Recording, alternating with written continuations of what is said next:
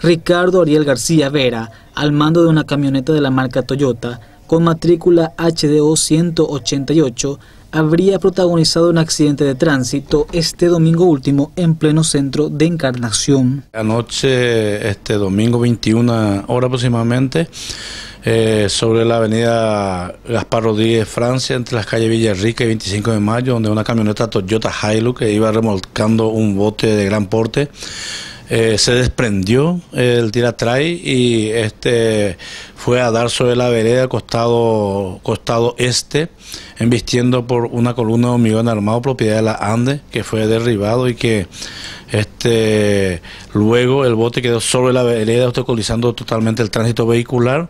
Posteriormente este, solicitamos la presencia de la gente de la ANDE para que pueda hacer alguna verificación en el lugar por el hecho que este, también quedaron sin energía eléctrica la vivienda eh, enfrente donde ocurrió el hecho y otra vivienda más.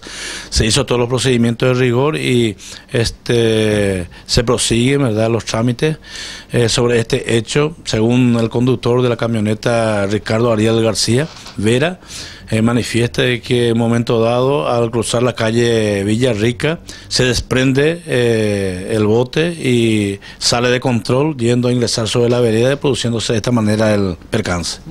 ¿Otras víctimas no hubo que, que lamentar, por decir así? Gracias a Dios no hubo ninguna víctima que lamentar, no hubo lesión corporal por medio de ninguno de los que estaban en la zona, ni siquiera el conductor de la camioneta. Gracias a Dios no hubo eh, nada de eso, así que solamente daños materiales eh, que queda reponer la columna eh, propiedad de la ANDE.